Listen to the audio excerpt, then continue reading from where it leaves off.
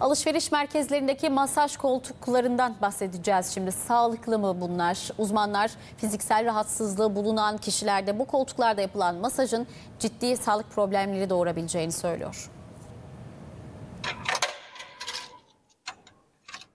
Birkaç lira atınca masaja başlıyor, dakikalarca sürüyor. Peki masaj koltukları sağlıklı mı?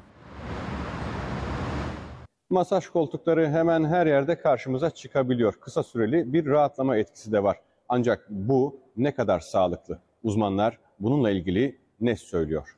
boyun, bel ya da eklem ağrısı yapabilecek e, basit bir kas ağrısından enfeksiyon, kanser hastalığı, kırık, kemik erimesi gibi birçok farklı durumlara kadar yayılan e, hastalıklar olabilir. Nasıl gidiyor masaj? Çok güzel rahatlamak için geliyoruz.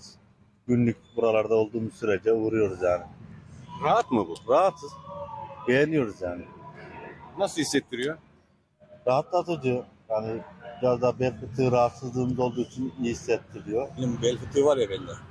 Abi işte rahatla diyor ya. Masajı tercih etmek isteyen kişiler genellikle kas iskelet sistemi ağrısı olan kişiler, boyun ağrısı, bel ağrısı, diz ağrısı gibi şikayetler olan kişiler. Ancak bu rahatsızlıkların altında ciddi hastalıklar olabilir. Uzmanlar pek sağlıklı olduğunu söylemiyor bunu. Ee, ilk defa duyuyorum bilmiyordum. İlk defa duyuyorsun. Evet bize göre rahatlatıcı geliyor. Öyle bir şey varsa hemen kalkalım. Uzmanlar masaj koltuklarıyla ilgili uyardı.